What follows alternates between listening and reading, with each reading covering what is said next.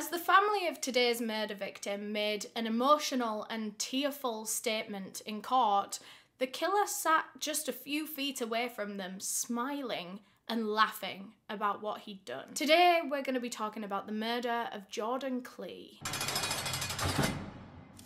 But quickly, before we get into the case, I do just want to thank our sponsors for making this video possible, NordVPN. If you go to nordvpn.com forward slash Eleanor, that is the link that is down below in the description box, there'll be an exclusive deal waiting for you there, and it is completely risk-free with NordVPN's 30-day money-back guarantee. Right now, for the new year, it is one bonus month free. Having a VPN is so useful for so many reasons.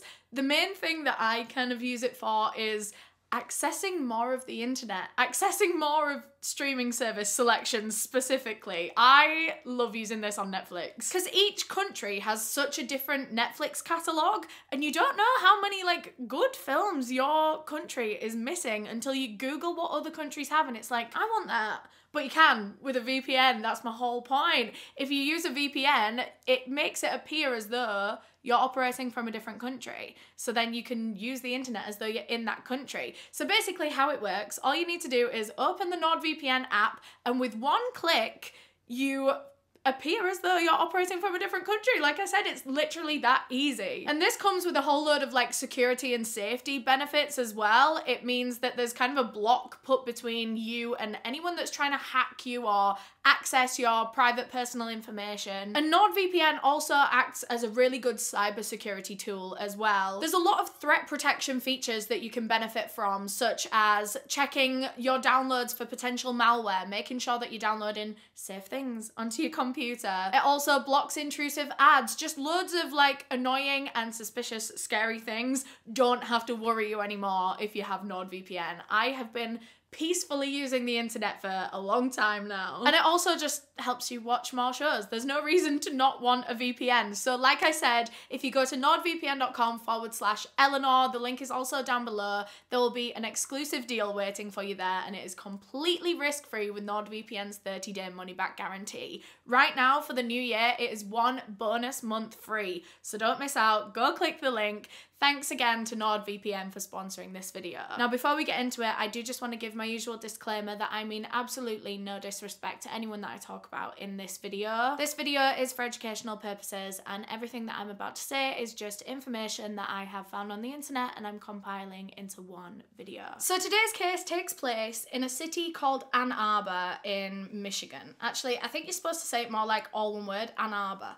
Arbor. In 2016, this is where 18 year old Jordan Michael Klee lived with his mother, Karen Klee. Sadly, Jordan's father passed away a few months before he was born on July 26, 1998. So he never actually got to meet his father, of course, but he wasn't without a father figure. He had his grandfather, his mother's father, who did a lot with him as he was growing up. That was practically his dad. And his mother, Karen, also tried to give Jordan the absolute best life that she possibly could. Even though now she was a widowed mother doing it all on her own, she gave it her absolute best. Growing up, Jordan was a very adventurous kid. He was very hyperactive. He was always running around, climbing trees. He was he was a very sporty, like athletic, very you know, just one of them energetic kids that's always onto something new. He really enjoyed sports, particularly. He was really good at biking, he was really good at skiing, both of which his granddad taught him how to do. He was on the football team, he was really good at football. Yeah, he was a really good athlete in high school, like one of the best football players on their team, and he won a bunch of awards for it as well. He was really popular among his football team. They all loved him. And he was very academically gifted as well. He always got really good grades. Basically, Jordan just applied himself in every area of his life. He was determined to do well and be successful at whatever he put his mind to. And he really was. Although sometimes he would get in a little bit of trouble in class for like daydreaming and slacking off a little bit. He would like play with things on his desk, fidget, make little like I don't know, I used to do this on my desk as well, like just pick a load of like random little things that you can get your hands on and I used to like try and make them into something. I was a loser. I was a loser. But Jordan did it too, so it made me feel better about myself. Jordan was really, really good at maths. He enjoyed anything that was kind of like mathsy based, so even like physics, and he really liked engineering. He decided that he was going to study an engineering course and that was going to be the career that he was going to head into because he knew it was well paying and he found it pretty easy. Like he was good at it, so why not? So that was the plan to just keep grinding out high school and then he was going to go off to college. He was going to go to Michigan University where again he was going to study engineering. He had plans to join the football team there too and play for his university now. And he knew he was going to be good at it as well. Like he was really excited for some of the games that he was going to be involved in. But unfortunately, Jordan Klee wouldn't even make it to his high school graduation. Around 3 p.m. on October 4th, 2016, there was a maintenance worker on shift at an apartment complex called Pine Lake Village in Ann Arbor. He'd been there pretty much all day at this point and most most of his jobs had been inside the building, so he'd been working away. And then at some point, he walks outside the building. And that was when he saw a young man laying on the ground, not moving. So the worker ran over to the boy and quickly noticed a pool of blood around his head. And there was one singular gunshot wound right in the middle of his forehead. This boy had been shot and killed. He was already dead. The maintenance worker knew that there was no saving this boy, yet he still called for every emergency service that he possibly could. Police came down and an investigation was opened. Immediately, this case was ruled as a homicide because, of course, he was shot in the head and there was no gun found laying around. So it wasn't like he'd shot himself, it was clear that someone else had shot him in the head and run away, taken the weapon away with them. Police spoke with the maintenance worker, obviously, that found him, and also a bunch of people in the apartment building, but no one had really seen much. However, a few people had heard what they believed to be a gunshot about an hour before the body was found. So at around 2 pm, they recalled hearing what they thought in the moment could have been a gunshot. It was kind of the way that they all described it, it was like it could have been a gunshot, but it also just could have been a loud noise outside, and I didn't want to overreact, so I just kind of ignored it. There was about two people, maybe three, that heard this gunshot. So now after finding this body, they all knew that it was a gunshot that they'd heard, but at the time, it, it could have been something else, so they didn't report it. When the young man's body was taken for autopsy, they were able to identify him as 18 year old Jordan Michael Klee. Jordan's family were informed of his passing and the circumstances in which he had been found dead, and aside from all of the obvious emotions that they would be feeling right now shock, devastation, heartbreak they were also just generally very confused. As far as his family were aware, Jordan should have been in school that day. This was a school day, and it was the middle of the day when he was shot and killed. Why was he at some random apartment complex that they'd never heard of and not in class? He had got up and got ready and left for school that morning. So, what had happened during the day that had meant that he didn't actually end up at school? He'd ended up in this other random place shot dead. His family really racked their brains and they just couldn't think of any connection that Jordan could have had to Pine Lake Village apartment complex. He didn't know anyone that lived there, he didn't have any friends that lived there, he had absolutely no business being there. There was nothing about these circumstances that was in keeping with Jordan's character. He wasn't the type to skip school and bunk off and go meet friends or whatever. It's everything was so confusing to his family. But they couldn't even really think about that. They were too busy dealing with the the very sudden loss of someone that they loved. Jordan's mother told police that he was a very loving, very kind, very friendly person that didn't have enemies. He didn't have people that didn't like him, people that wanted to hurt him, people that wanted him gone. That wasn't the kind of boy he was. He was nice to everyone he came in contact with. Because to be honest, in the beginning, police kind of thought that this was probably like gang related or feud related. Like maybe he was a member of one gang and then another gang didn't like him, and so they've tracked him down and shot him and kill him. But his mum was saying, "No, that's that's not my son at all. He wasn't in gangs. He didn't he didn't run with bad kids. Like he was a good kid himself. All his friends were good kids." And this was just, this was nothing like his life. So it couldn't have been anything like his lifestyle and his choices led to this. Honestly, though, what seemed to be the most likely motive was that maybe this was an armed robbery gone wrong. I mean, it did happen in the street in the middle of the day. Whoever had done it, whoever had shot and killed Jordan, had run away pretty quickly, gotten out of there. They hadn't moved his body at all. I don't actually know if he was robbed. I couldn't find that anywhere on the internet because surely that would tell us if it was a robbery or not. Like, if his wallet's gone, then it was a robbery. But I'm not sure. But that also kind of leads me to believe that nothing was stolen because if something was stolen, it would be in the reports and it would be in the articles. Unless it was a, an armed robbery where they were gonna rob him, but then they shot him first and panicked. Maybe that wasn't what they meant to do, so they just ran away without actually robbing him. I don't know, I'm really kind of getting ahead of myself, but that's because this case really confuses me. But whatever the circumstances, this was an innocent 18 year old boy with a bright future in front of him that was ripped away by someone that had just shot him in the middle of the street and ran away. And police were determined to find the person that had done this and bring them to justice. Police were very tight lipped about this one particular investigation since they had all these kinds of theories that it could have been gang related and stuff like that.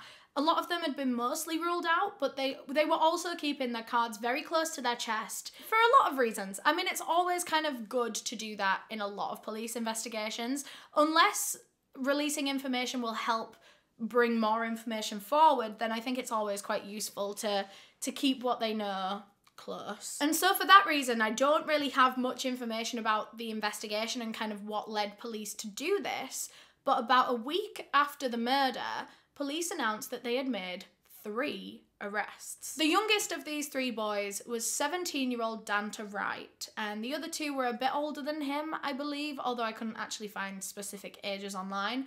Their names were Jamarius Ellison and Delrano Gracie. The police had actually already worked out this friend group a little bit, this little trio. They'd been doing their research, and they believed that the youngest one, the 17 year old Danta Wright, they believed he was the ringleader of the group. He was the brains. Dante was actually in the same school year as Jordan Klee, so he too was due to sit his exams and graduate and have prom and then go off to college next year. I don't know if he was going to the same school, so I don't know if he knew who Jordan Klee was, but they were exactly the same age. But instead of attending his prom and his graduation, Dante Wright would be standing trial for the murder of an innocent man. Police believe that this was an attempted robbery performed by all three of the boys that I mentioned, and they believe that ringleader Dante Wright was the one that managed to get hold of the firearm so that they could use it that day, and he was also the one that discharged it.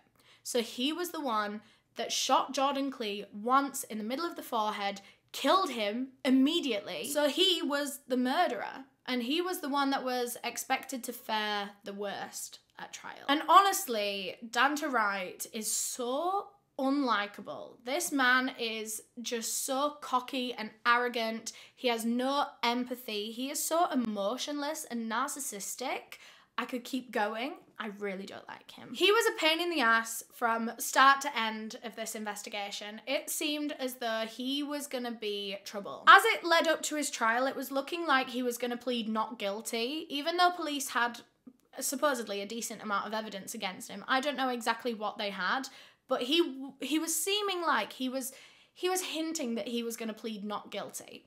Now the problem with this is, or the reason that that's annoying to police is because they had the evidence to say that he did it, but he could Dante could drag this out as long as he wanted. He knew that this was painful for his victims' families, yet he didn't care. He had no empathy. He wanted to drag it out. He wanted to make a scene. Even though he could have pled guilty then and there, he didn't want to. He wanted the attention and the limelight, you know? So they thought he was going to plead not guilty. That was what he was hinting the whole time. But actually, on the day of the trial, he got up there and shocked everyone when he pled guilty. He stood up there and confessed to the murder of Jordan Klee. He told his version of events and he admitted that yes, it was an armed robbery gone wrong and that the other two boys were involved. And he actually admitted that he intentionally shot Jordan Klee in the head that day. Like he hadn't started the altercation thinking he was going to shoot him in the head, But he said that when he did, like when he raised that gun, he aimed at his head intentionally. He wanted to shoot this boy in the head. Knowing that a shot to the head is almost impossible to survive, knowing that he was about to kill this boy, he still lifted that gun, aimed at his head, and pulled the trigger. When you're shooting someone in the head, you know that that shot is going to kill them. You aim for the head when you're shooting to kill. And of course, once the gun went off, Jordan died immediately. As soon as that bullet went through his brain, he died and dropped to the floor. And that was when those three boys realized what they'd just done. They had just committed murder. All three of them panicked a bit and just ran away, just left this 18 year old boy's body on the ground and they all ran away. Dante was asked if he knew that he'd killed Jordan Klee, if he thought he'd just kind of left him for dead and that maybe he might recover.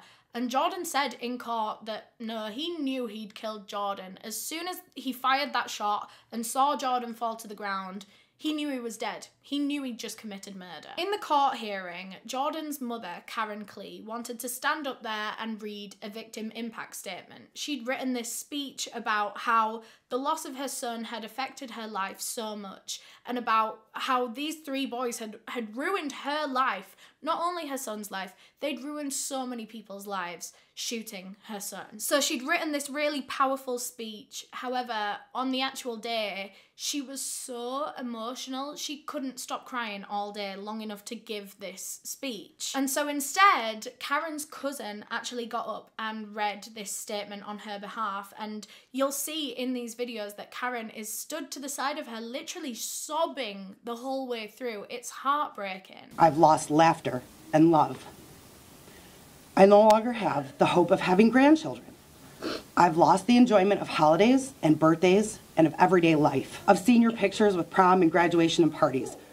Instead, it was a nightmare, a nightmare that no parent should ever endure. In this speech, she talks about how Jordan was like her best friend. He always cared for her, always did things for her. He would bring her milkshakes home, like on his way home from work, because he knew that she liked them. He would make her laugh when she was feeling down. She said that she was always really looking forward to having grandkids, but now the chances of her ever having them is gone. Karen herself is sobbing all the way through this. Meanwhile, Dante Wright is smirking, laughing, rolling his eyes just a few feet away, being so disrespectful. And he also got up and made a statement himself at one point. I just want to tell y'all I'll be home soon. R.I.P. Keon. I love my family. Apparently, everyone in that courtroom could feel the tension, feel the anger. Everyone was angry at Dante Wright for acting this way, especially in front of his victim's family. He wasn't taking this seriously. He wasn't realizing the gravity of what he'd done. He had killed a young man and he was just laughing at his victim's family's pain. It even got to the point where the judge himself called Danta out for this. But watching you sit there, smile, and laugh, and shake your head like this was no big deal, I'm very tempted to just say, I'm not going to accept this sentence agreement. We'll go to trial, and if you're convicted of felony murder, you'll go to prison for the rest of your life. That means you'll die there. After this, Jordan's defense attorney actually had to get up and make an apology on behalf of his client. He had to apologize to the judge and the whole courtroom. His smiling was in no way meant as disrespectful either to the family, to the victim, or to this court. At the end of this trial, Dante Wright was found guilty of armed robbery, and for that he was sentenced to 50 years in prison with a minimum of 23. I believe he had a sentencing plea which made his sentence lower than it otherwise would have been. Although I don't know the details of that sentencing plea. Perhaps he gave up information on his accomplices or something, I don't know. Speaking of, they were both also found guilty and they were both sentenced to 40 years with a minimum of 15. And in the aftermath of all of this, there's actually been another unexpected villain raise their head in this story. Dante Wright's own mother. She's done interviews where she has been asked how she feels about her son's victim's family. So, the other mum, you know, who is now dealing with the loss of her child, how does she feel about her son's actions like that? And the things that she says are just so lacking empathy. They're just almost as bad as her son. She says a lot of things like, My son was supposed to graduate this year too, and now I, I'm without my son too. What do you think about his reaction uh, during the statements that were made in the court that the uh, judge seemed to be upset about. Yeah, tell me what you think. What upset me was I'm, I'm sorry for her loss, just as well as mine. My son was supposed to graduate this year too. Yes, we can all understand and acknowledge that your son is away in prison for the next 40 years and you're not going to see him much. But how bloody tone deaf can you get when a reporter is asking you how you feel about your son murdering this other innocent young man and you and you're just stood there going, "Well, I have problems too." Jordan Klee's family will never get to see their son again, never get to hear his voice, never get to hear his laugh ever again.